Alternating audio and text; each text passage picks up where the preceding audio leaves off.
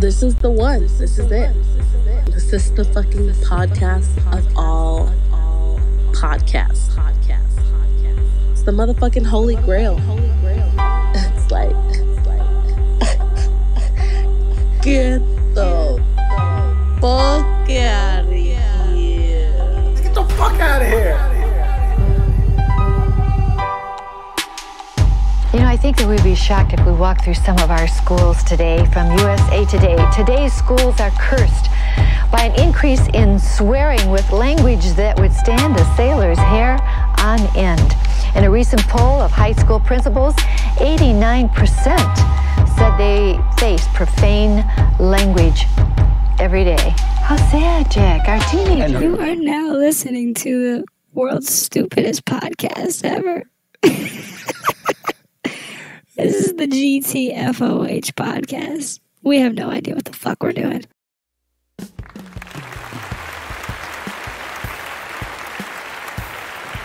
Nobody knows the trouble I've seen. Nobody knows my motherfucking sorrow.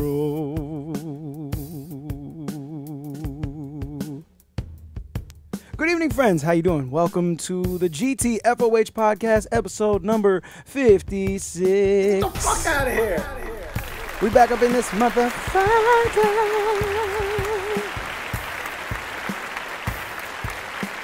How you guys doing? How's everybody feeling out there? you feeling all right? Are you feeling good? The world is fucking weird, right? The world is bleak right now. Mercury and eh, Mercury and fucktograde or whatever, because it feels kind of fucking. It feels kind of dark. It feels kind of bleak out here. I don't know. Everyone I talked to today was in a was in a funk, was in a vibe, was in a mood, including myself. I was, I've been emotional all day. A song like brought almost brought me to tears today, and that like never happens. Like I love music. Music, like I'm very passionate about music. Music moves me. But like to bring me to tears, it's rare. It's a rarity. But I was just emotional. I don't know what it was. I think it was because two nights ago, at least for me personally, two nights ago, I slept for 10 hours. All right. Yeah. Went to the Dolphins game.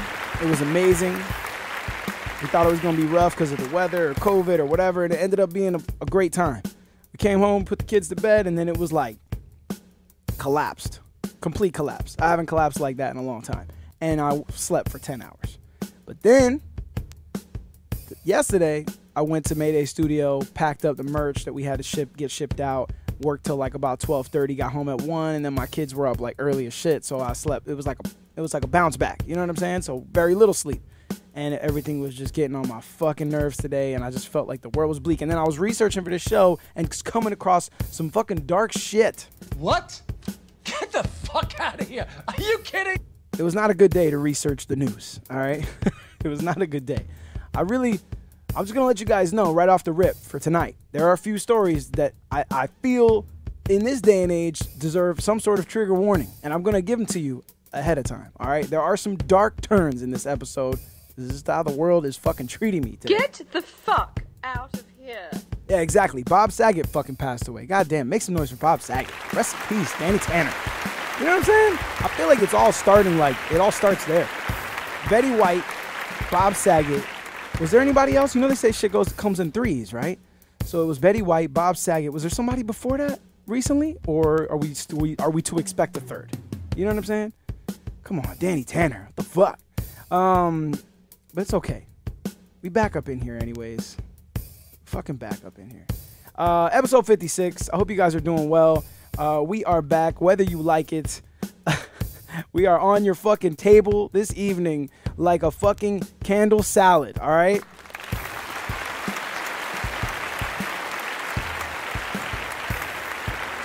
Have you heard about this? Do you know about this? Somehow I just caught this on the internet. This is a real thing. The candle salad. If you're listening and you can't see the video, I just put up a picture right now it, it does not look appetizing at all. This is a real thing, all right? The candle salad. I just wanted to randomly share this with you guys because the world is fucked. Why bother? So I just wanted to share some randomness with you. Um, apparently, the candle salad, just for those who can't see the video right now, is a banana thrust vertically into a stack of pineapple rings on a bed of lettuce leaves with a maraschino cherry, toothpick to the top. All right? It is very suggestive looking. And this is an actual recipe from the 1920s. Shout out to those saucy bitches, all right? Get the fuck. This was a holiday recipe, all right? And it was later even printed in the children's cookbook, all right? For those who are still not looking at the visual of this fucking episode, it looks like a fucking cock, all right? Shit. Yes. Deep, deep throat salad. ah. Um, bruh, it appeared uh, in Betty Crocker's cookbook for boys and girls in 19, 1957 with the header, It's better than a real candle because you can eat it. Fuck yeah. All right. Get the fuck out of here. Um, yeah, uh, there you go. I don't know, candle salad. Look, look, fucking women used to get together in the fi- in the fucking fifties and make candle salad. That was the hot shit. All right.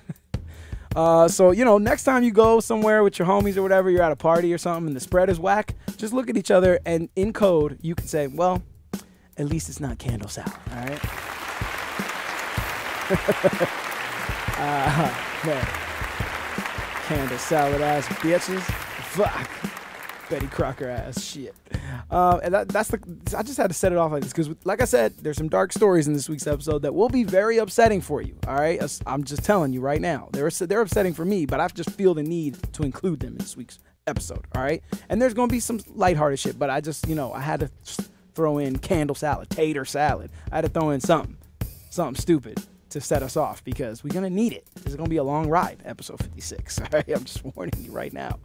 I'm just fucking warning you. Um, let me give a shout out to um the monthly supporters of the show. You already know who you are, but I want to let you know that I fucking appreciate you greatly because you are the motherfucking truth. The fact out of here.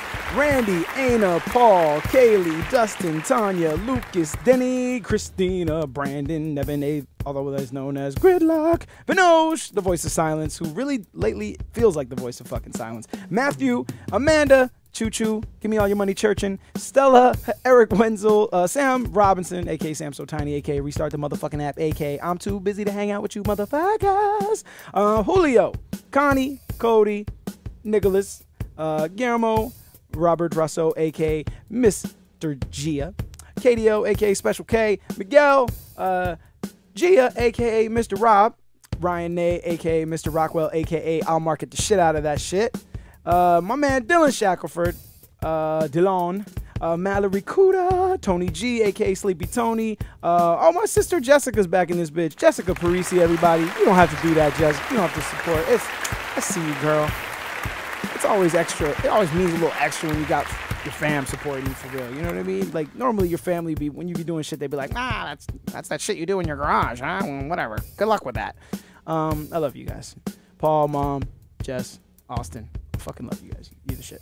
Um, Ebro, my man Brandon Mullen, uh, Robert Stemmen, uh, Austin Chenoweth, Misty, my guy Norman, Joseph Penberthy, the fucking sixth, because I say the whole shit.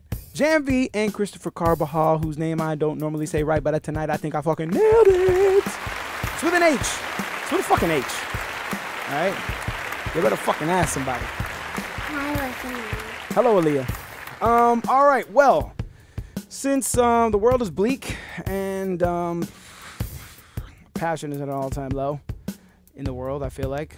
Not not with us, but just in general with the world and because I apparently don't find candle salad fucking appetizing, all right? Get the fuck out of here! Candle salad making ass bitches. Uh, I guess there's only one thing to do since I can't uh, ask you to eat my candle salad, and that's uh, ask you to give me some headlines. Getting, getting, getting, getting, getting, getting, getting, getting. I was getting some head, getting, getting some head, Lines. getting some head, getting, getting some head, Lines. getting some head, getting, getting some head. Lines. was he's the kind of girl that make your toes pop. I was, I was, I was, I was. At 11, paying more at the grocer, but getting less. We'll tell you how to get the most. The fuck are you doing?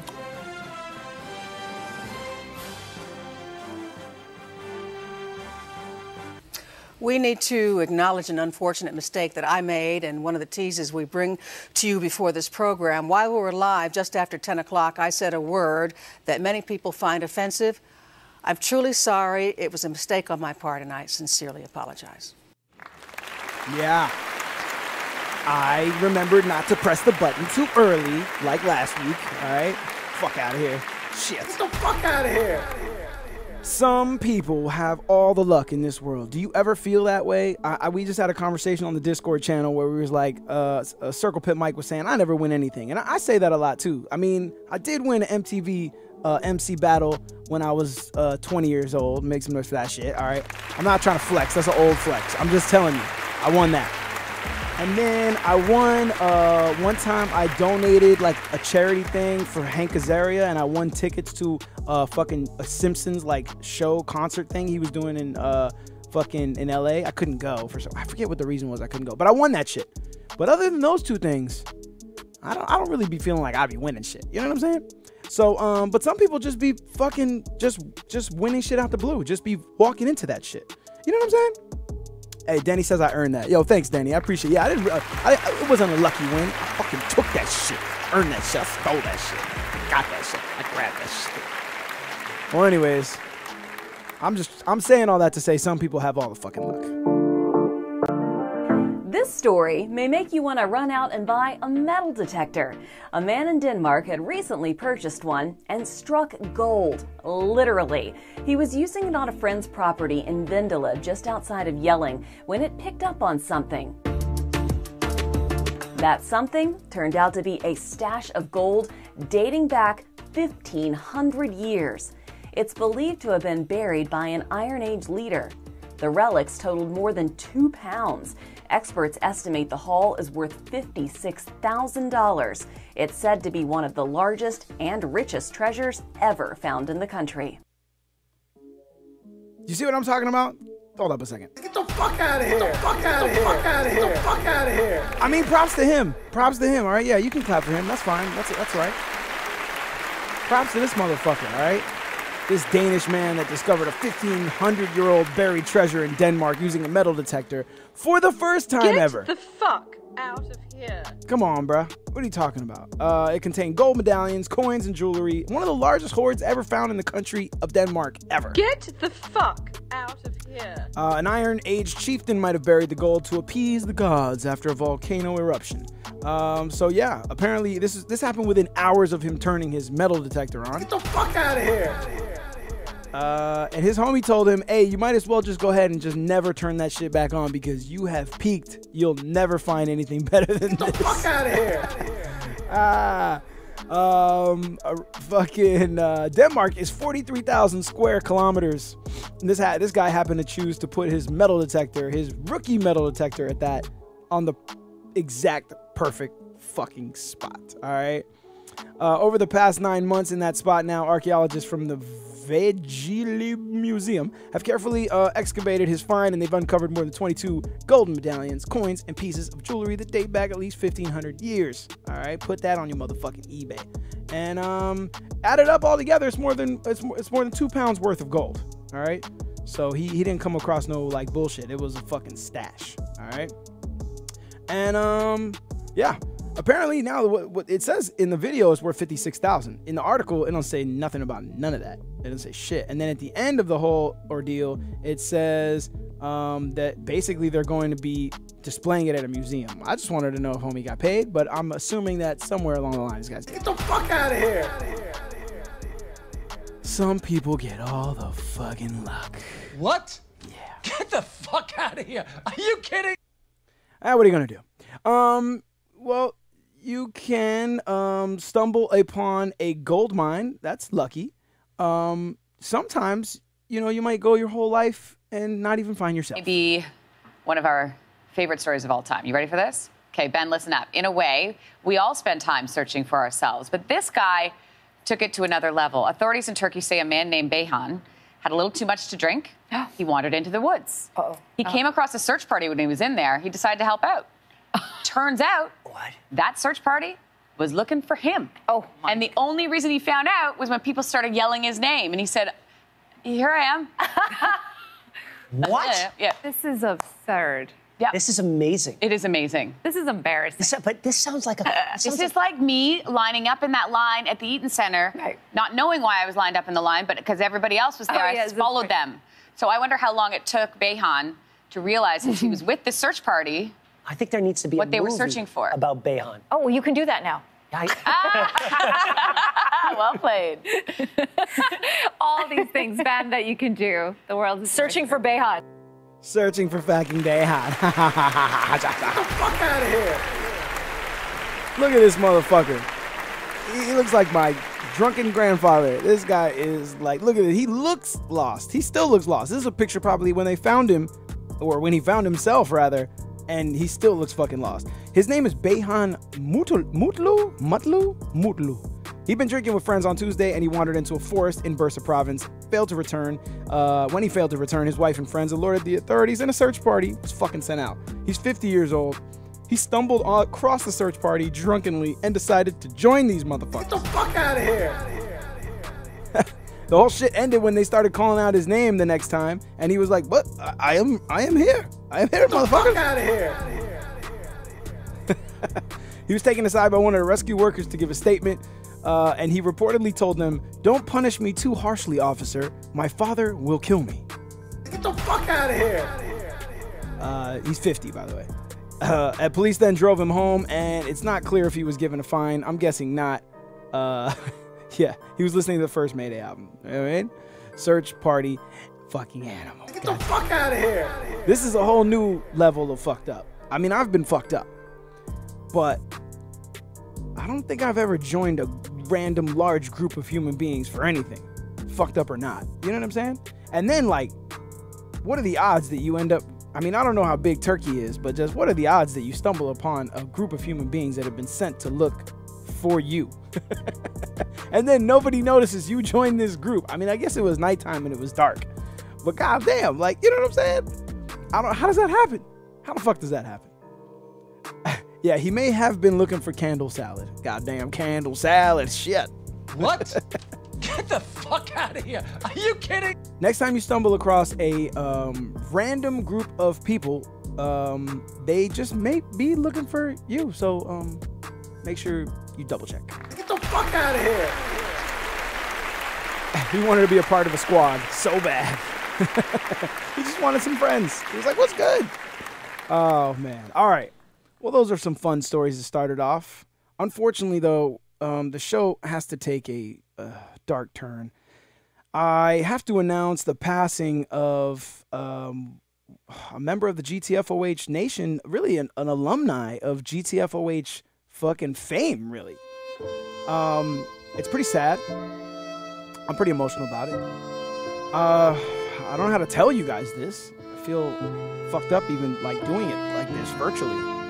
I wish I could be there to comfort you guys. But uh, Magawa, the landmine sniffing hero rat, I don't know if you remember him from a previous episode, he's passed away at the age of eight. Yes, Magawa. Magawa, the famous mine clearing rat who was awarded a gold medal for his heroism, has died at the age of eight. In a five year career, the rodent sniffed out over 100 landmines and other explosives in Cambodia. Magawa was the most successful rat trained by the Belgian charity Apopo to alert human handlers about the mines so they can be safely removed. The charity said the African giant pouch rat, quote, passed away peacefully at the weekend. This was the third one. Oh no, this is the third. Shit. Get the fuck out of here. Betty White, then Bob Saget, and then Magawa. Son of a bitch. I knew it was coming. Shit. It was said that Magawa was in good health and he, quote, spent most of last week playing with his usual enthusiasm. But by the weekend, he started to slow down, napping more, and showing less interest in food in his last days. He was bred in Tanzania. Magawa underwent a year of training before moving to Cambodia to begin his bomb sniffing career. He was young, he was hungry. There are thought to be up to 6 million landmines in the Southeast Asian country. Trained to detect a chemical compound within the explosives, Magawa cleared more than 141,000 square meters or of land, the equivalent of 20 football fields. He weighed 2.6 pounds and was 28 inches long. And while that's far larger than many other rat species, Magawa was still small enough and light enough that he did not trigger mines if you walked over them. Magawa was capable of searching a field the size of a tennis court in just 20 minutes, and that's something Apopo says would take a person with a metal detector between one and four days. In 2020, Magawa was awarded the PDSA Gold Medal, sometime described as the George Cross for animals, for his life saving devotion to duty.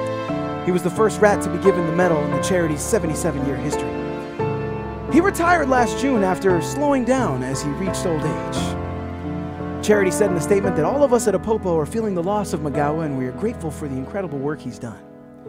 His amazing sense of smell allowed communities in Cambodia to live, work, and play without fear of losing life or limb. That's pretty honorable. Apopo has been raising its animals known as hero rats to detect landmines since the 1990s. Make some noise for Apopo, everyone, will you?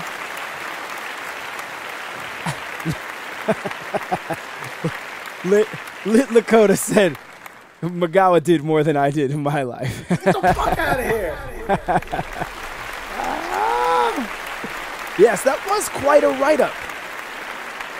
Quite a write up from Magawa. You know what I'm saying? But he fucking earned it, though. You know what I'm saying? I would say he fucking earned it. That's what I'm saying. I read that shit with passion because I fucking meant that shit. All right? Magawa, rest in peace. Um, like if I don't, if I go to the swap market, uh, swap meet, you know, swap shop. We got we got one called Swap Shop here in Miami, uh, in Broward rather. Um, if I don't go there next week and see like Biggie, Tupac, Magawa, it, I'm going to feel slight, you know, slighted. I, I really am. You know, I need to see, I need a rest in peace Magawa. Get the fuck out of here. That's all I'm saying. Oh man. Um. All right. We we can keep this. Can, we can keep this tone. Like, well, we were a little bit dark there. We took a little dark turn. Now I think we need to lighten it up a little bit. Like maybe we can lighten it up to like a like a yellow, a yellowish kind of vibe. That it's very possible and probable we have the antidote. Okay, and the antidote is even for those that have been vaccinated. And, and, and, and the research he's already sent me just blew me away. And they're going to tear me apart, but hey, they, they tear me apart all the time. And I've been practicing this for 20 years, and um, everybody's always said I'm cray cray, and I am, but I'm crazy like a fox, okay? and guys, when I tell you this, please, you know, take it with a grain of salt, but go do the research, okay? Because this is going to just be like, there's no way. But the antidote, and I'm going to kill my credibility. What credibility do I have anyway? So, hey, um, the antidote that we've seen now, and we have tons and tons of research, is urine therapy. Oh no. Okay? He said it. And I know to a lot of you, a lot of you, this sounds crazy, but guys, God's given us everything we need. Okay? No, he hasn't. And I'm going to give you, again, I test and prove all things. Okay? Um, this has been around for centuries. Um, we, we've got research after research, documented, peer-reviewed, published papers on urine. We do. We have this. Okay? But they have been doing for the last nine months now, and what he has right now is all antidotal because, again, you Antidotal? know, to, to put together a randomized double-blind placebo study with this is, is, is kind of tough. But Yeah, you think? I'm going to give you some stuff. You I know. Don't the give us chlorine no dioxide was rough enough, but now now drink urine. Um, Don't give us no stuff. No, Hold- don't give us no stuff. out of here. What the fuck? Don't give us none of that stuff. That's the Vaccine Police founder. All right, he founded Vaccine Police. Uh, Christopher Key is his name, and he don't got the keys, keys, keys. No, he does not. He don't have none of the keys. Don't make noise for that motherfucker. He maintains the Vaccine Police anti-vax website. Uh, he's apparently now touting urine therapy. Get the fuck out of here. In this case, urine therapy is not sitting down with a jug of your urine and talking about its feelings. Oh, that's a terrible. I, I need a like a. I need more sound effects and I need a fucking. Um, who writes this shit? I should really rewrite these articles before I read them to you guys, because sometimes I'd be blind reading these motherfuckers, and then uh, it makes it look like I'm trying to be funny saying their shit, and their shit's not funny at all. All right, moving on. Um, apparently he wants you to drink your own urine. I just want to let you guys know that. So do whatever you want with that shit Fuck out of here. if it's got to be between me getting COVID and then me being like, hmm, well, I just just cooked up a fresh batch. Cheers. I'm going with the COVID. Get the fuck out of here. I'm not drinking my own piss. I'm sorry. I, I mean, I know it came from me. You know what I'm saying? I know it's pro- it's clean. Probably it's not toxic, or is it? I don't know. I'm pretty sure, pretty sure you can survive drinking it, right? People do it. I'm just saying. I'm going with the COVID. Get the fuck out of here. That's just me. To each their own, I guess. Uh, in a video posted on his Telegram account, of course he's got a Telegram Get account. the fuck out of here. I knew it was a telegram. Keys suggested putting into your mouth what normally goes into the toilet. Just uh, take a look at the clip you just saw right now. We just looked at that shit. Blah, blah, blah, blah, blah, blah, blah. I love that he said it was anecdotal. Is that a word? Did he mean to say anecdotal? Um, he said take it with a grain of salt. take it with a kidney stone, motherfucker. Get the fuck out of here. uh, when I tell you this, please take it with a grain of salt, but go do the research. No, bitch. You're saying you did the research already. Fuck you. I hate that go do the research shit. Cause none of no nobody who's saying that does the research. This guy didn't do the fucking research. He's telling you to go do the research. I hate that go do the research shit. Fuck you. You do the research. All right. I'm not the one saying to drink your own piss. All right. Bring me the research. Show me the research. Don't make don't don't give me homework. I already got to drink my own piss. Now I got to do now I got to do a book report on urine therapy. Fuck out of here. Um he tried to support his assertion by saying that it's been around for centuries, as you heard.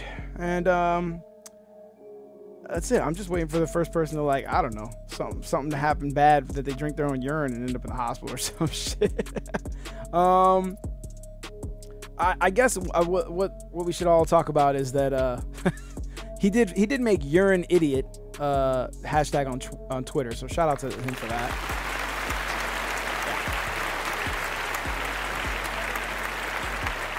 it, it was anecdotal, right? I mean, I know it was anecdotal.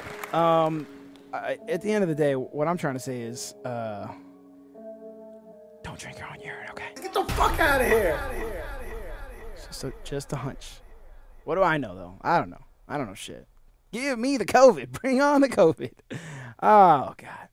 Um. All right. Let's take our first dark turn of the evening. All right. Now, I normally don't believe in trigger warnings, but I'm coming around. For this story, I feel it's necessary. All right. So if you have a strong aversion to anything having to do with children being treated poorly or chil- or child abuse, you know what I'm saying? You're not gonna you're gonna want to tune off of this for a split second. You know what I'm saying? And if you're listening to the podcast, just go ahead and skip ahead like three minutes or whatever uh, and skip this story.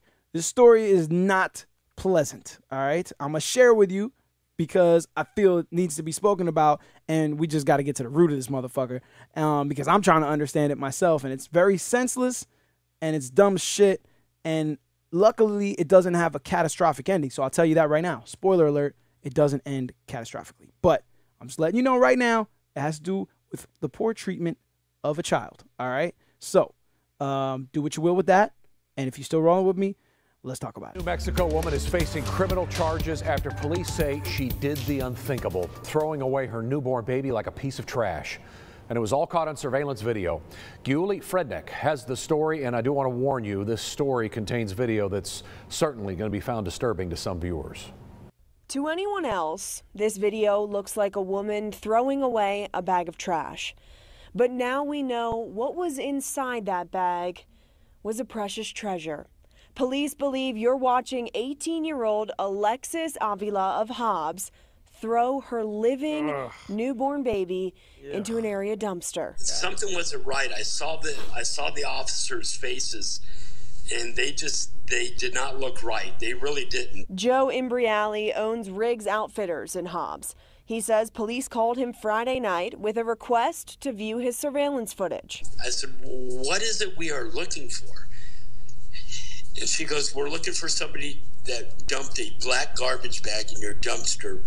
And I turned around and said, "Please don't tell me it was a baby." The video shows who is believed to be Avila leaving the dumpster at 2 Friday afternoon. Six hours later, you can see three people searching through the same dumpster. They pull out a black bag and start looking through it. Seconds later, a woman reacts to what's inside and starts opening the bag. She pulls out the newborn baby, still alive, and tends to it. Once the child is wrapped up, she brings it to their truck while a man in the group is on the phone. They pull the truck away from the dumpster, and you can see police and an ambulance arrive minutes later. Police immediately start looking in the dumpster, and paramedics take the child to a local hospital. I was in shock just to see this. Imbriali couldn't believe his eyes as he reviewed that video with police. Yeah, I can't sleep at night just knowing that this baby was tossed in a dumpster like that. I'm sorry, but who does it? That is evil. That is just. I, I don't have words for it. I don't blame him. Very upsetting. Wow. Now, as for Avila, investigators located her car over the weekend. They say she did confess to giving birth to the baby and then taking it to the dumpster. She was set to face a Lea County judge this morning, charged with attempted murder and felony child abuse. Mm. Get the fuck out of here. Yeah. Bruh, so I, I I'm not I had her picture, but I'm not gonna put I don't even feel like putting her picture up. She she's 18, all right? So she's 18. They said her name on the news report. I'm not gonna say it. Um, but she's 18, so it's like I I I just try to like and just rationalize it a little bit. And there's just, it's very difficult to rationalize at all. The baby survived. Luckily, six hours later, there were some people going through the dumpsters there in that parking lot looking for like cyclables. They call them dumpster divers. It sounds kind of like derogatory, but whatever. They call them dumpster divers. So they were like going through looking for recyclables and shit to pull out of the garbage that was worth something. And they heard the baby crying. Six hours later, now, I don't know if you noticed in the video, the, all the people out there, it's cold in New Mexico right now. All the people out there were wearing jackets and fucking sweaters and like they were fucking warmed up. Um, it was cold. So this baby is in this fucking dumpster in this garbage bag, fucking cold as shit. You know what I'm saying? So the baby suffered hypothermia, and then they, they ended up having to give the baby a blood transfusion, but the baby fucking survived. So fucking, there you go. That's the first positive of the story it could have gone really i mean there's many stories in history where this shit happens and it goes the other way. It goes completely wrong. Nobody finds the baby until it's way too fucking late. So it's a miracle that they found this baby. It's a secondary miracle um, even higher actually higher priority miracle that when they found him he was alive. Um, so thank we're thankful for that. But um, i tried to think when i first because I, I didn't when i first heard the news story yesterday I didn't know how old she was, but they showed her mugshot on TV, and I was like, well, she looks. I was telling my mother-in-law she looks really young. You know what I mean? And that doesn't uh, justify it at all. But I'm just saying, like, she looks like a young dumbass bitch. That's all I was trying to say. And I was just like, yo, she don't, she don't know what the fuck she's doing. But I try to put myself in my 18 year old head, and I was like, even if that was to happen to me, even being a dumbass kid, I couldn't like. You gotta be on some other evil shit in a way to really do what she did. And don't you know, doesn't everybody know if you don't want to have the child, you can go to a fucking fire station, a police station, a fucking I don't know, there's plenty of options. That's that's not the proper option. You know what I'm saying? Um Yeah, yeah, yeah. I wouldn't include her in the dumb criminal alumni list. Like, nah, I wouldn't ever revisit. I would never want to revisit the story. I shared the story with a couple of friends that I wanted to like just fucking like talk about it with because I wanted somebody to talk to about it.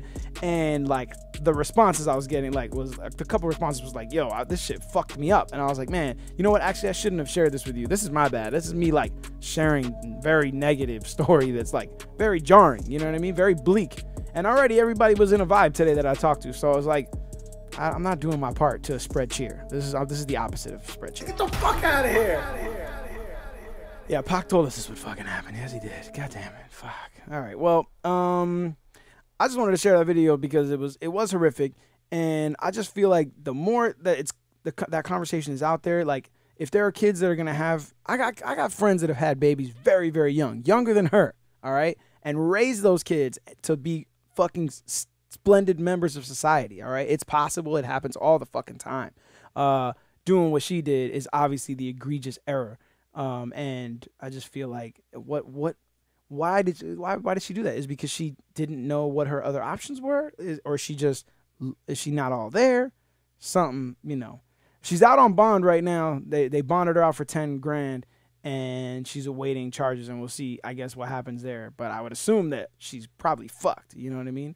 I would I would think. Uh, yeah, but shout out to the people that found the baby and fucking rescued the baby, um, because it could have gone. It could have gone really bad. Um, all right, that's one of two dark turns tonight. Um, you guys all right? You guys doing doing okay? We made it. We made it through the first one. Um, well, luckily for you guys, our second dark turn doesn't happen until after we get in the sunshine. Okay, so I think you should use this idea for your Florida, Florida segment and get the out, out of here. So I came up with get on the Florida Because when the cops come arrest you with their handcuffs, they're like, get on the floor so that they can put the handcuffs on. And since it's about Florida and all the crazy stuff that happens there, which is usually involved with the cops, so get on the floor, duh, is Florida. And also get on Florida. I mean, get on the floor. So I think you should use it because I'm smart. Get on the floor. Yeah.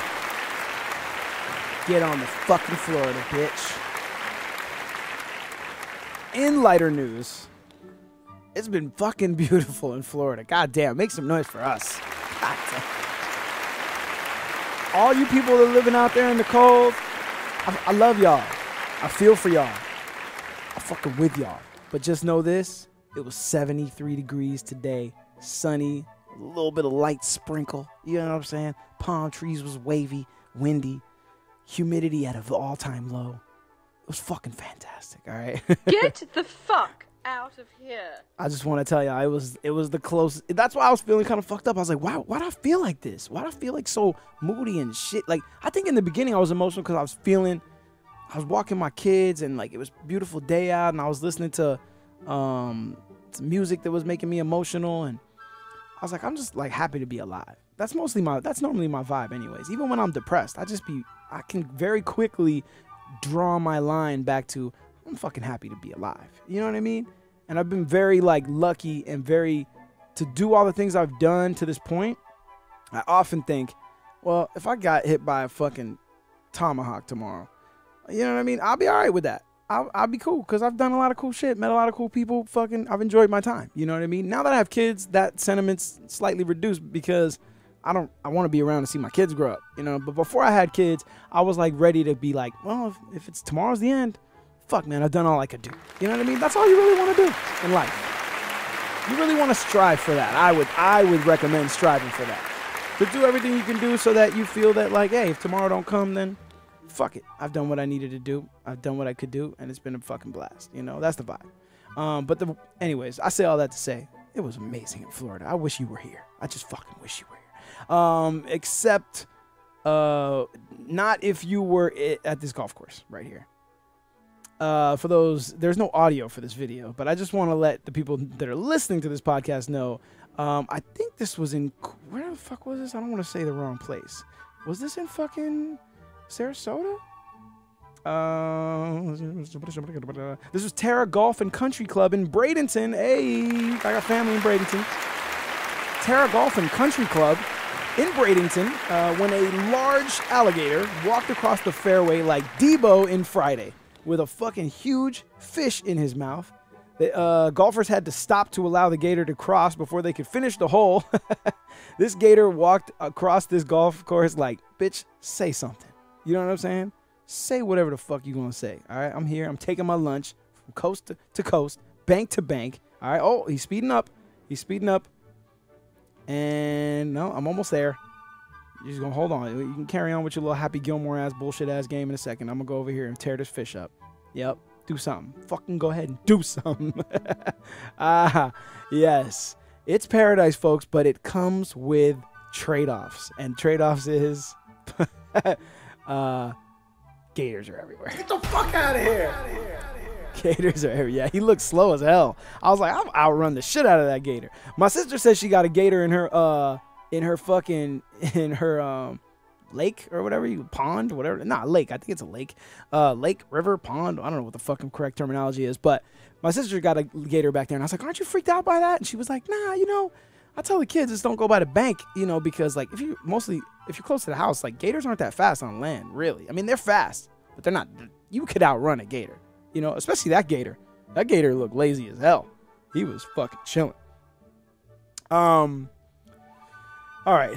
Well, I, I like to always have at least a little gator talk in Florida, uh, but it, it, the, the hilarity won't last for long because we got to take a A man is behind bars accused of shooting and killing a real estate agent in South Florida. So Coral Springs police say 40-year-old Sarah Michelle Trost was gunned down while she sat inside of her car. She was right out of a home that she was getting ready to show. Police are looking into the possibility the shooting may have been related to a dispute between a tenant and a landlord. It could have been a case of mistaken identity. The house is a rental, and it looked to me uh, yesterday like it was empty. I was walking my dog, and um, I did not know this, but apparently there was an eviction. Just a tragedy. 51 year old Raymond Wesley Reese, shown here, was arrested in West Palm Beach, is now charged with first degree murder. God damn it! Get the fuck out of here! Uh, where to start with this one? Um, Coral Springs, not too far from us. Uh, South Florida real estate agent, as you heard, shot and killed by a recently evicted man who mistakenly thought that she was his former landlord. Get the fuck out of here! Get the fuck out of here! Get the fuck out of here! Get the fuck out of here! I just I was rewatching the Matrix series, and you know in the first one when the, they're getting some of the like crews getting unplugged by the traitor, uh, Cypher. Sorry, spoiler alert. Oh, by the way, Matrix came out in '99, so fuck that. Get the fuck out of here! And the, the, one of the girls says, "Not like this, not like this," and that's how I feel for this lady right here, Sarah Trout. Like, bruh, not like this. Like that. That's I think about that often too. Like if I'm gonna go out, not like this. You know what I'm saying? Like not senseless and doesn't make sense. Mistaken identity. Get the fuck out of here! She was waiting outside a home in Coral Springs. She was waiting to meet with the potential buyer when fatally shot two days before Christmas. Get the fuck out of here! Get the fuck out of here! How does this guy not know what his fucking realtor, uh, I mean, not a realtor, his landlord looks like? How does he not know and then just goes up and just like blasts somebody who's not her? Uh, 51 years old, uh, Raymond Reese. He called 911 on himself after the fucking fact. Uh, after the shooting, he told the dispatcher he had shot his former landlord and believed she was dead. He didn't even know it wasn't the right person. He said, uh, Can you send an officer to pick me up? I shot somebody. Uh, then he gave his name, birthday, and address, and his sign. According, no, he doesn't give a sign. According to the arrest warrant, at the police station, Reese confessed to shooting someone at the home in Coral Springs where he used to live, saying he was quote upset at his former landlord over an email she sent him the previous day, which he had read that morning. Get the fuck out of here! That's why sometimes that trigger warning shit I don't really fully believe in because you're giving trigger warnings to people and you're making them so fucking sensitive that they get so mad about a fucking email that they go and shoot somebody and murder them. You know what I'm saying? I think maybe we should trigger a little bit more. Uh, Like the, the terminology is not good there, but you know what I'm trying to say. Like maybe we should sensitize this motherfucker a little bit because, or D. you, know what I'm trying to say? I don't even know what I'm trying to say anymore. But I'm, what I'm trying to say is this guy killed somebody over a fucking email, Get the fuck out of here! and it wasn't even the right person. Get the fuck out of here! He was, of course, arrested in West Palm Beach, booked at the Palm Beach County Jail before being transferred to Broward, uh, facing a charge a charge of one count of first degree murder. And uh, online court records show no attorney listed for him. I wonder why. Get the fuck out of here! Uh, we got a case for you, Johnson. It's a it's a lose lose. Uh, Reese remained in the Broward County Jail on Monday, and uh, Trost was from Parkland. A colleague told WSVN uh, she loved her job, while neighbors described her as a married mother of one. Get the fuck out of here. Another dark turn. Infuriating. Come on, people. We can do better, Florida. How could you be so angry and so violent in a place like this? Get the fuck out of here! This is how, when I argue with my friends all the time about utopia, I don't believe utopia, human utopia, is achievable. It's, I know, I'm cynical. It's bad. Bro, I'm, I'm about to hit my 40s. It's probably only gonna get worse. You know what I'm saying? But what the fuck? Like, I don't, I don't get it. I just, I feel like humans are just programmed, hardwired for fuckery like this. Does it ever go away? Does it really ever go away? That's the question. We can hope. We can be hopeful. We can pray for that final version of the Matrix. You know what I'm saying? But I don't know. I don't know. Uh, what I do know is um, humans can be great sometimes. A unique senior center is set to open in Sarasota by January. You see it right here. The 1950s themed town square is a place for seniors, including those with Alzheimer's and other dementias, to spend time socializing with familiar activities.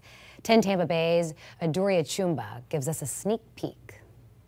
It's hard. It's hard to watch your parent turn into a child, which is kind of what's happening. Gina Taberi has found a new resource for her dad. She's among more than half a million caregivers in Florida with loved ones dealing with a cognitive impairment like dementia and Alzheimer's. He's a smart man.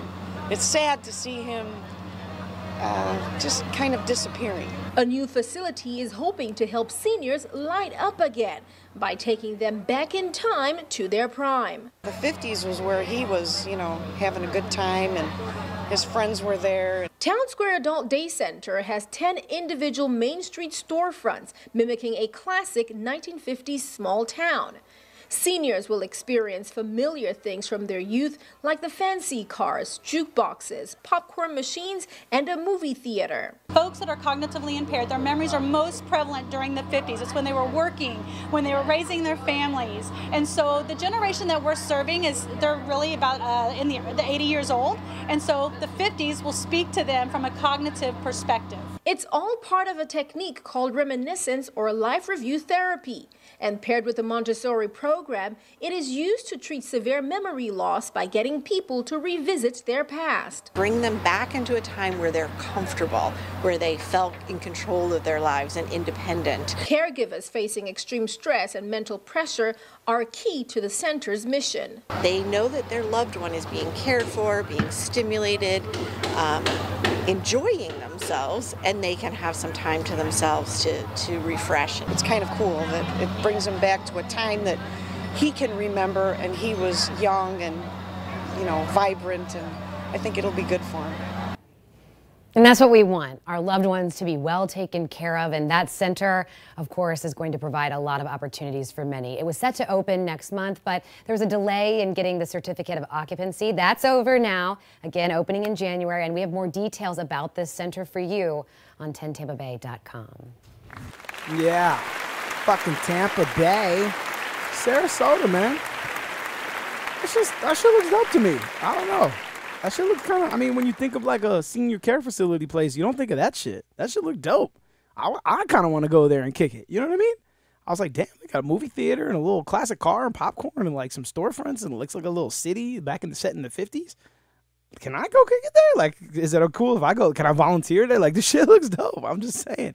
Um, and of course, yeah, like for you, for those that know, my grandmother's suffering from Alzheimer's for like the last five years now and um, she's beyond i feel like even that that level of care. But i feel like if my grandfather had an, op- uh, an option like that he has to have somebody come to their place and, and care for her for a couple hours for an hour or two so he can do his thing. But uh yeah i feel like if that was an option and it made sense fuck yeah. I mean like shit. Um i feel i got that shit in my family so i i, I worry about the like what the potential for that is like down the road when we get me and my family get older, me and my sister and my brother get older. You know, you know what I mean? You don't know. Hopefully they'll have it a little bit more figured out, or if not, I'm gonna need the ill '90s care center. All right, I'm gonna need Nintendo, Pogs, um, classic R&B. You know what I mean? Turntables, a studio would be nice, you know, or a show that I could walk out and be like, "Yo, did you enjoy the show? How you doing?" And like sign sign somebody's hat or something. I'm gonna need that. Do you think they could do that for me? I think so. Get the fuck out of here. I think it's possible.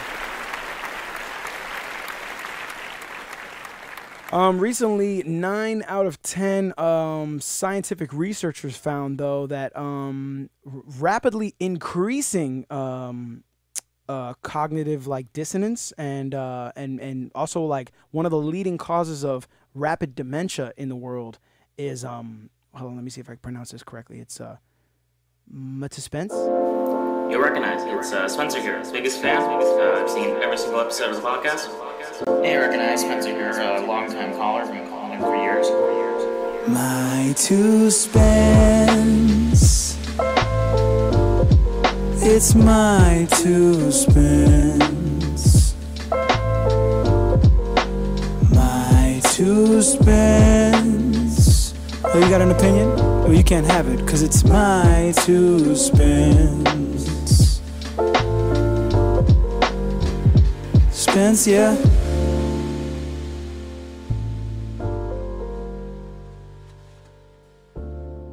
How's it going, everyone? Spencer from Idaho here with a review slash reaction segment for you today. At the end of 2021, I did a live stream where I listened to every song that Mayday or Wrekonize was featured on throughout the year, and we made a tier list of the songs. you didn't know, I stream on Twitch, twitch.tv slash my two spence. We had listened to somewhere around 25 songs, and for today's segment, I wanted to discuss what I and the Twitch chat thought were the absolute best of the songs, like the super chronic tier, as we called it. So here we go. First, we have a song by Nashville producer Stone Baby Sounds featuring Wrekonize, Ryan Upchurch, and Dizzy Wright called Nine Clouds. Ain't nobody messing with my vibe right now. I be cruising in the whip like I'm on nine clouds. It's a pretty straightforward pop rap song, upbeat and catchy, vibey. Um, has a good catchy hook from Upchurch. Dizzy brings a great verse, and of course, our boy does his thing for the second verse. Right now, I've been spreading the vibe round. Tequila in my cup, squeeze juice from the lime out. My city on my sleeve, sunrise to the sundown. She said she wanna see if we can liven it somehow. Well, I can show you how to get it poppin'. We've been doing this from city to city, yo, yes, we do it often. I remember in the live stream, I said the beat kind of reminded me of airplane mode because it actually manages to capture that kind of floating on a cloud feel. Uh, and overall, really strong song. Check it out. Next, we have my personal favorite, "Toss Up" by South Dakota-based R&B singer Denim, featuring Mayday. It's a catchy ass song with relaxed R&B verses, a poppy and super catchy chorus. All her friends bad. She the one that's fucked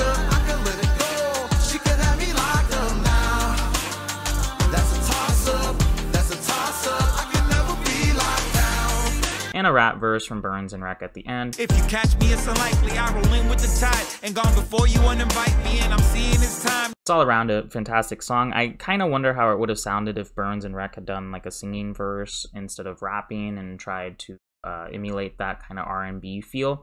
I think it would have been pretty cool and probably would have meshed with the song even better, but I don't know. Uh, it also would have been nice to see Wrek and Bernz kind of try that because I don't know.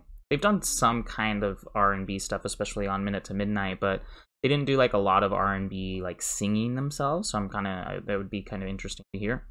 Either way, check the song out. It was my personal favorite of all the songs that we checked out. Uh, I think it's fantastic. Next, we have a song from California based musician, producer, I think rapper Too Toxic, featuring 60 East and Wrekonize, called Believe in Yourself. A very chill and vibing West Coast hip hop song with an inspirational and catchy hook that sounds like it was written by the Dalai Gagne himself. Believe in yourself. Believe in your skin. Believe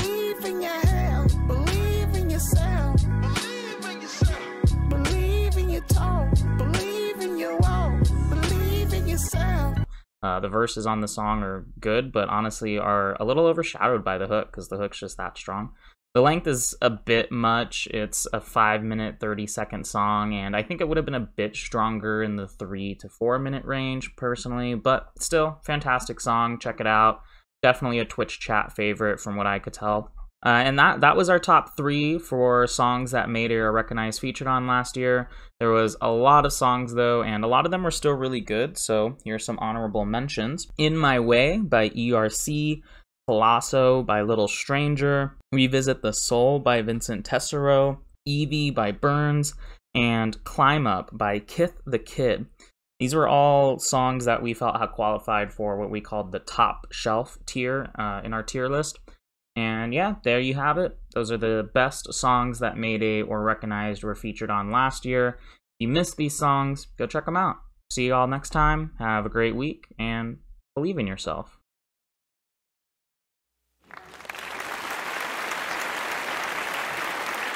Yeah, believe in yourself. Believe in yourself, Spence. I miss you, Dan. I miss you.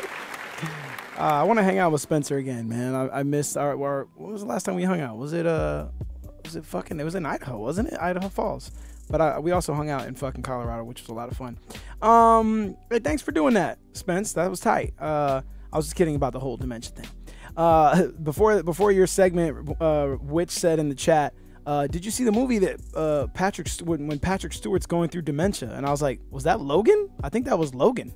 Uh, but if it wasn't, what, what was it? Because I, I don't think I saw it. I did see Logan though. Um, I appreciate you doing that. We did do a lot of features last year. I'm, I'm thinking about doing night next to no features this year. Is that weird? Should I not do that? I don't know. I have a lot of music to record, and I, I lately have been taking a long time to complete shit, and I hate when people are waiting on me. It's a pet peeve of mine. I really fucking hate it, uh, which is why you know obviously wrecking crew time is a thing, and gridlock and noise like to give me a hard time. Spencer sometimes about things, and I, I really truly do hate people like waiting on me or me being late for shit. In real life, I'm like never late for anything. So when I'm late for deadlines, it's because I've taken on too much. I do that a lot. Um, but I think yeah, I think I don't know. I'm thinking this year might be a little bit less of a feature list, but we did do a lot of features last year. The year before that was even more. Um, and that Believe in Yourself record, I really like. That Denim record came out really good. Um, I like the Stone Baby Sounds one. Yeah, there was a lot of good ones. Oh shit, Amanda found an article she wants to submit to the show. Fuck yeah. Oh shit, let me look at you. A couple weeks ago, a fucking line. You dropped your, your first line and now you're gonna fucking submit an article to the show. Look at you growing up. It's so beautiful. Um if you do, any of you out there want to submit an article to the show, I have caught up now. See, now the thing is, uh, there was a few old stories here and there, like since I had a little hiatus, unplanned hiatus. Uh, I caught up now. The inbox is empty. So if you want to submit a, uh, a news story, I'm trying to have it be recent. If you find a, sto- a story that's relatively recent that you want to submit for the show, please email it to me at the GTFOH podcast at gmail.com. Send me the link to the article so I can check it out. If the uh, the, the article is featured or the story is featured on the show, you know I'm going to shout you out and give you some love. So send me the fucking stories, all right? Please send me the stories. Safe House was the Patrick Stewart movie. Okay, cool. Yeah, I love Patrick Stewart too. Fuck him on Captain Picard. Let's go. Um, I'll have to check it out. Sounds sounds uplifting, and that's what I need right now. I need uplifting. I need Patrick Stewart going through dementia uplifting. That's what I need. uh, oh man. Uh, this week's breakdown comes to us from the one and only, a fucking staple of our show, a staple of our community, a staple of my life, really now. Uh, fucking Denny Gagne. What do you got, Denny? Yo, Wrek, here's another breakdown request. The first time I heard this track, I immediately loved your hook and the message within it. I definitely slept on the album this is on, and I'd be sure to ask for another breakdown off this album again in the future. So without further ado, part 3, They Told Me, off the album Stuck on an Island. And because I like this track so much, where are parts 1 and 2? As always, much love, homie. Can't wait to hear the story. Gagne out.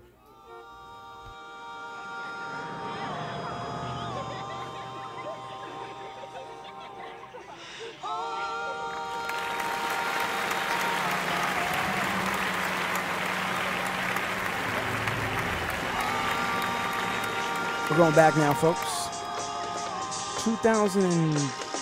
2010, I think. Oh, Miyagi in the chat. Perfect timing. If they told me, part three. Let's go. They told me, they, they told me This body's temporary, use it while you can They told me, but they don't know me I'm the type to make the best out of my only chance A million ways to make it A million ways to fake it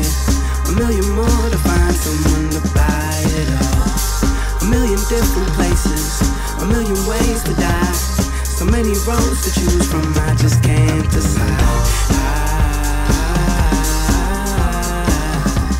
So many roads to choose from that I can't decide.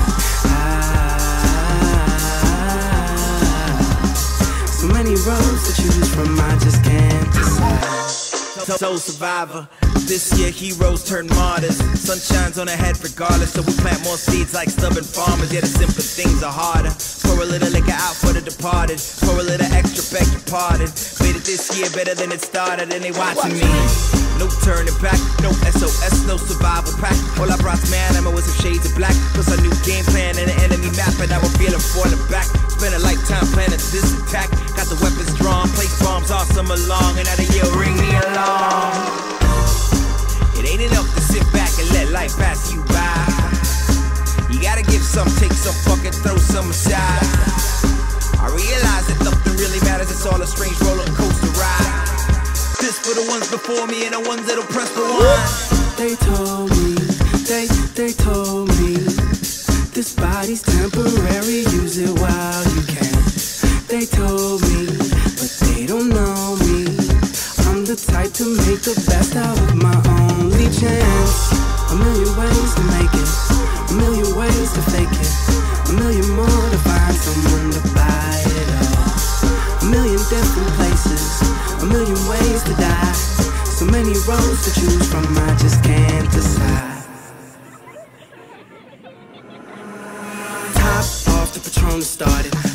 Wars, I'm a lonely sergeant. Paint my portrait lowly artist. Shit, I would if I wasn't so broken, starving. Or broken hearted from token targets on local artists to solely harvest the open market. Like we gon' bow down and promote that garbage. As a younger man, it was damn sure late, so I'd understand that a dealer could deal you an underhand, but you could stick it out and leave with a hundred grand. And that's all I'm saying. Stand up tall, live all you can. Hold the wall or spark the jam. Be the prodigal son of the son of Sam. Just put your hands up in the sky. Scream out loud now if I die. I live this life like it was mine. Oh my, it feels so good to be fly. Get your hands up in the sky. Scream out loud now if I die. I live this life like it was mine. Oh my, it feels so good to be fly. They told me, they, they told me. This body's temporary, use it while you can. They told me, but they don't know me. I'm the type to make the best out of my only chance. Let's move like this, don't matter.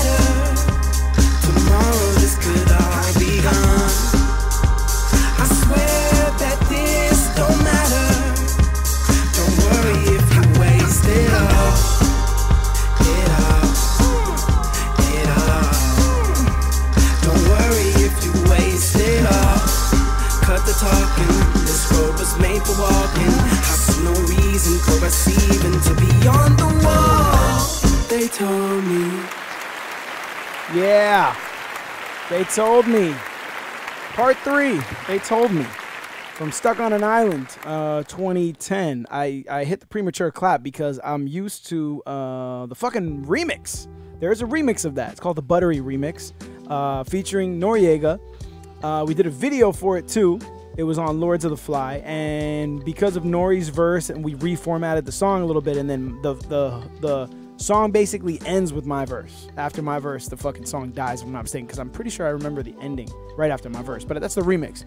Um, so uh, yeah, the first thing that comes to my mind when I hear that record is I just think of technically what uh like what we could do better like because i was still pretty premature in my like singing capabilities then and like sensibilities so i know like when i hear it now i'm like damn i could body that bridge outro part so much better you know it's a little more strength a little more mm, you know but um one thing that pops to mind all right first of all let me start with the groundwork of the whole record uh, we wanted to do a song that had a groove You know what's funny? We kind of did on that song. I'm snitching on myself, but I'm not famous enough for it to matter, so it's fine.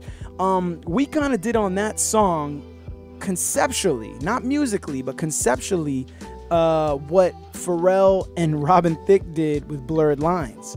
We wanted to make a song that had a continuous groove, kind of like uh, Marvin Gaye's uh, "Gotta Give It Up" or whatever. So this is called Part One, isn't it? Part One, "Got to Give It Up." Yeah, you know the one. You know the one. You know the one. Somewhere in there, a joke. I don't know what the joke was, but somehow we were like, we're not gonna make. You know, we're inspired by Part One, right? But then I can't. Maybe Miyagi. Miyagi, do you remember? You know what I'm saying? It was Part One was the Marvin Gaye record, and then Part Two we were like, like this is before Blurred Lines ever came out, so there was like a reason why we weren't making Part Two, and then we were like, oh well, they told me is gonna be Part Three, so we're just gonna be call, we're just gonna call it Part Three. You know, they told me or whatever. Um, I can't remember why we went from one to three because the the Marvin Gaye record was one, we made three. I don't know what the joke was about Part Two. Um, but yeah, there was a there was one in between. And um, what I also remember about that record is we wanted to make a feel good joint. We wanted to make something that was like, yo, let's just fucking live in the moment. Let's do what we can fucking what we we know what we can do uh, with what we got. Let's just vibe. That's kind of where we were at in that moment, anyways. We were just making music, living on South Beach, having a having a great time, you know. And and it's still in the struggle and still hustling and still trying to get on, but just enjoying the moment for what it was and just being like, yo, let's do whatever we can with whatever we got. Um, technically on the studio side of things, the one thing I'll never forget about this record is Plex lost the fucking session for the music. Get the fuck out of here. Out of here. This guy lost the fucking session for the, that music. So that, for those in the know of how studio sessions work and mix sessions and shit, that is recorded over a two track. And then if you notice, the only changes in the beat that weren't already there from Plex were filtered. We just filtered the two track. You know, we didn't have access to take drums out or mix the record better, even uh, because we didn't. We still to this day don't have the multi-track for that. So even if even if we go like at the 30 year anniversary or what a 20 year, do we just do the 10 year anniversary? And when we do the 20 year anniversary, we go to remix because I've always wanted to remix that whole album because we mixed that album. I mean, Miyagi assisted a lot, but we like basically mixed it and then Miyagi helped us. Um, and I know you like I know you probably mixed a couple of the records yourself even, but I always feel like I wanted to go back and have it mixed from top to bottom, like in the now. You know what I'm saying? Like like when you listen to it compared to our other albums, I feel like we could give it a better polish, you know. Um, but we couldn't do much with the music on. They told me anyways, because we don't have the fucking multi-track for that shit. We just have goddamn two tracks. Shit. Shout out to Plex. Losing sessions. Unorganized genius. He also lost the session for Lando's Jam. Lando's Jam was also a two track, but luckily for us, Lando's Jam just sounded amazing anyways. Like he did, he did, he did that shit. That shit just sounded great. You didn't need to do a lot. And the engineer, uh, Ben Cybulsky from Strange, uh, he did a great job with what was there, you know? Um, but yeah, I mean, other than that, man, that song goes back so far that that was really it. I know the inspiration started from us trying to like make our own version of Got to Give Up, which is part one, Marvin Gaye. And um I, I still I wish I'm gonna have to ask Bernz. He probably don't remember. He got a worse memory than I got. Um, but it started from there and yeah, we did it live a few times. We were doing it in our live set for a while. Nori got on the remix. Check the remix video out on YouTube if you uh, haven't seen it already. There's a censored version and an uncensored version on YouTube, if I'm not mistaken, because uh, Stacy Havoc pulls her titties out in the fucking video. Shout out Stacy Havoc. Stacy Havoc and those titties. Yeah, we love you, girl. Um, so they told me part three in this bitch. All right, there it is. Check it out. Uh, Stuck on an Island is um uh, still available actually for like three more days, if I'm not mistaken, for pre-order on vinyl. Uh, it is um it was supposed to be like soiree it was going to be like only a certain amount of copies but then they gave me the option to just run it for a certain amount of time and i was like cool well, mayday project probably sell more vinyl than mine anyway so i was like let's just do it for the limited amount of time. But then i don't know if it was covid or what the fuck or our marketing skills or what but we didn't sell as many copies in that same amount of time. So then they gave us the option to extend it because we hadn't really hit the mark for copies to make it like make sense. So um they extended it for us. And then it just felt like it got extended really long. Um, and then recently they just hit me up like to get the files and that's where we're at. Waiting on a timeline now. And hopefully i think they said march but i think on the website now if you go to diggersfactory.com you can see uh, that it on the, you have to be on the desktop to see the counter but there's a counter that says i think like last i checked it was six days and that was like a couple days ago. So it should be at three or four days now left uh, so if you want to get a copy of that, go to diggersfactory.com, search Mayday or Stuck on an Island, it'll be up there. And um, don't look for the counter if you're on mobile. Only works on the desktop. All right. Vinyl coming soon. Vinyl coming very fast. All right. A quick reminder to you guys. Hi, Wrekonize. Hello, Aaliyah. Um, if you want to leave a line for this show, this is the prerequisite for that. You can um just shout if you want to shout me out or ask me a question about music, that's totally fine. If you want to fucking say uh tell anyone in this world or in your life get the fuck out of here for any reason, Get the fuck out of here. please drop me a line and let me know why we should be telling that person that and I'll help you in telling them. It's not a cameo, it doesn't cost you nothing, it's free. All right. You can either go to anchor.fm forward slash the GTFOH podcast forward slash message. Um, or it's on my link tree and all that. But uh, you can go to the message button and you can leave a minute me- uh, voice memo that way, or you can just voice memo on your phone and email it to the GTFOH podcast at gmail.com. If it's just some love for the show, if it's just a shout out, if it's something random, whatever it is, go ahead and fucking send it over to me because my inbox for lines is completely fucking empty almost. Get the fuck out of here. Nobody wants to talk to me anymore. What? Get the fuck out of here. Are you kidding? Send me send me some love for the show if you fucking got love for the show. All right, because I need some lines. All right, but the one person that never lets me down, I thought he was, I thought he might not make it today because he eh, the line, the line came in late. But you you never count out the one and only positive ball of energy, the fucking ball of positive light that is the Dalai Gagne. What up, Wrek? I've been asked by people in the crew how I'm so positive all the time. Well, here's a recent story. Pre-game locker room talk before my hockey games can be all over the place. Early in the season, I was struggling stopping pucks, which isn't exactly what a goalie likes struggling with, if you know what I mean. I had been routinely beaten by shots along the ice, going in just off the post and then wrapping around the inside of the net and coming back out the other side. I could count on my hands how many times that's happened to me in the last 33 years of playing. Probably on two hands. However, this year it was happening at an alarming rate, and it probably surpassed my entire career's worth in 15 games.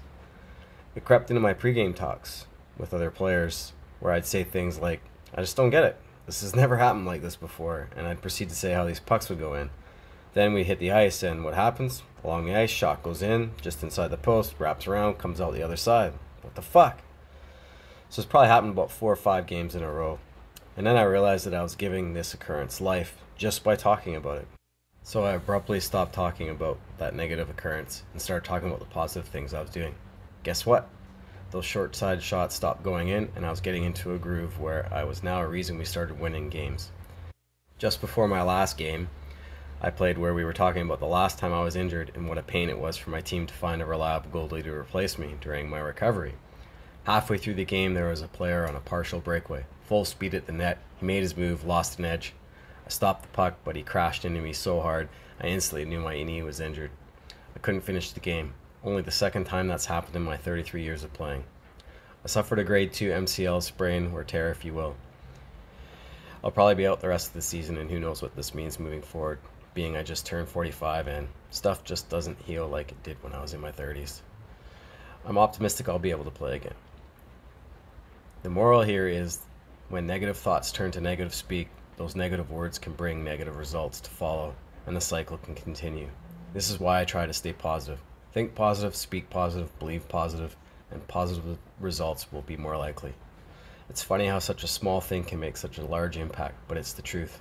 Small daily positive affirmations will snowball into positive belief, and the more you can positively influence and believe in yourself, the happier and more successful in your life you'll be. Gagne out. Yeah. God damn it, Gagne. With the positivity. Leave that negative shit at the door. Don't talk about the missed shots. Let's just go for the shots we're going to make. Let's think about the positive vibes. All right, let's get that another round of fucking applause. Which segues me perfectly into this sentiment right here. Dum dum, diddle dum dum, diddle dum dum, diddle dum dum. There was a turtle by the name of Bert, and Bert the turtle was very alert. When danger threatened him, he never got hurt. He knew just what to do. He ducked and cover, ducked and cover. He did what we all must learn to do. You and you and you and you duck and cover. Sure and remember what Bert the Turtle just did, friends, because every one of us must remember to do the same thing. That's what this film is all about. Duck and cover. This is an official civil defense film produced in cooperation with the Federal Civil Defense Administration and in consultation with the Safety Commission of the National Education Association. Produced by Archer Productions Incorporated. Hey, Bert, come on out and meet all these nice people. Please? Oh, all right. We really can't blame you. You see, Bert is a very, very careful fellow. When there's danger, this is the way he keeps from being hurt. Sometimes it even saves his life. That's why these children are practicing to duck and cover just as you do in your school. We all know the atomic bomb is very dangerous.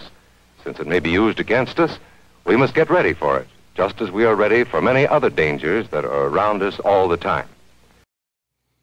Look, I played you that shit right there. Yeah. Yeah. For vintage, vintage terror. I played you that right there to remind you.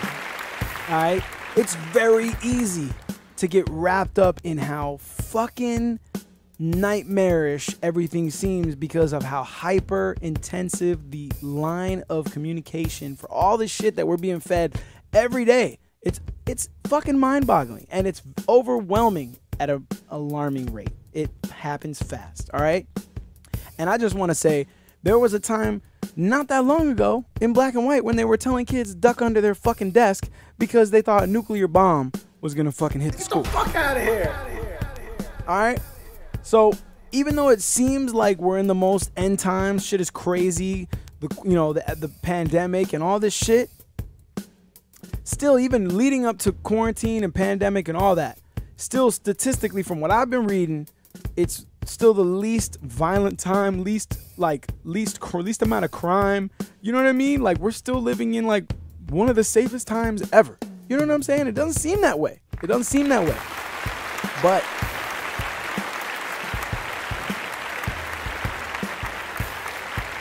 that's what it is. I'm just saying. Like people be forgetting. Humans forget mad quick. All right.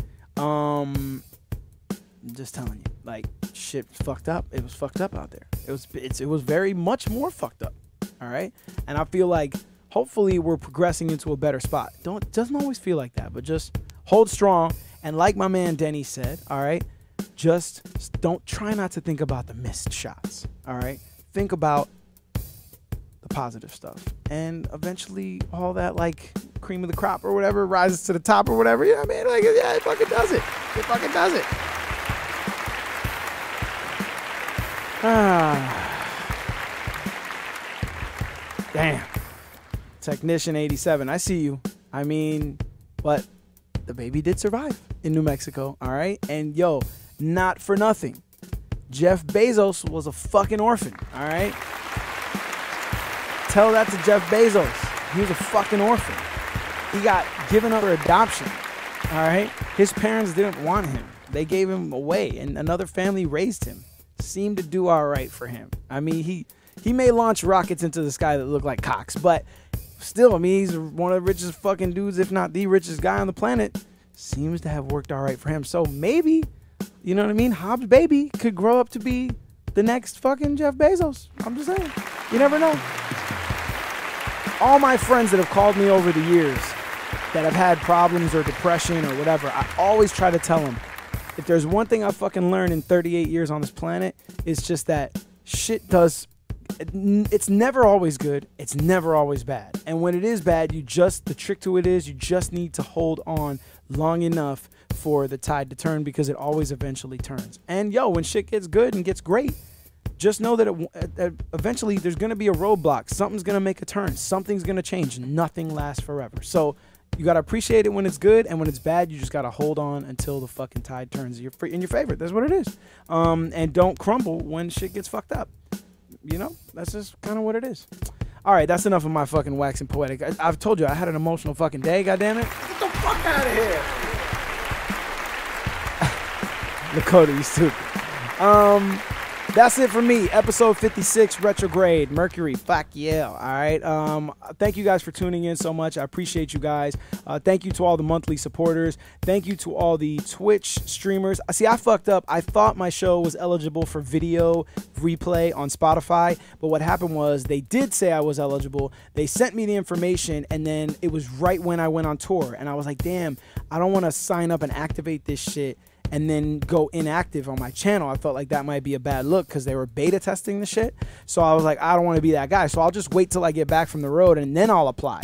And I thought I had already like cleared that hurdle. So when I went to upload the video last week, it didn't work. It was telling me to fucking eat a dick. And I was like, oh no, I don't want to do that. Uh, it's terrible. All right. So then I applied and now I'm waiting on a reply from Anchor to basically activate the Spotify video podcast. So for the time being, the video replays will only be on YouTube, um, but eventually, once I get the green light, then you will be able to watch this on video or listen just to the audio if you like on Spotify. The option will be fucking yours. All right. Um, leave me a line if you would for next week. If you got a story, submit it. If you want to become a monthly supporter, there are three options as low as 99 cents a month for you to support the show. I fucking love y'all. Don't and just remember if shit gets fucking crazy out there, Um, it's real easy. Just uh, duck and cover, motherfuckers, and play the song. It's that time again. We gotta say goodnight. You know it's getting late. Tomorrow is another day, my friend. All right, people. It's time to go home. Yep. Losing time. We're ready to head on out. So let's go. You don't have to go home, but you can't stay here. Now you're making me mad. You're gonna make me swear. Get the fuck out of here. Finish up that beer. You might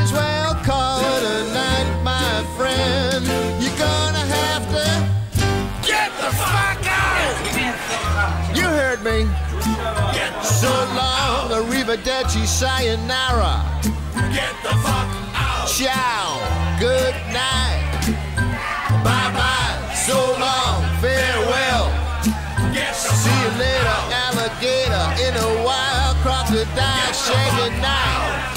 Get the fuck out. Get the,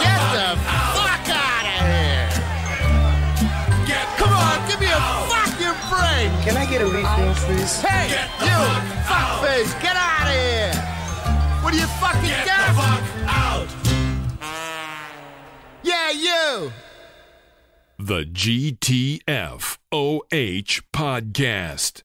Learn more at thegtfohpodcast.com. Just what the world needed one more podcast. Get the fuck out of here.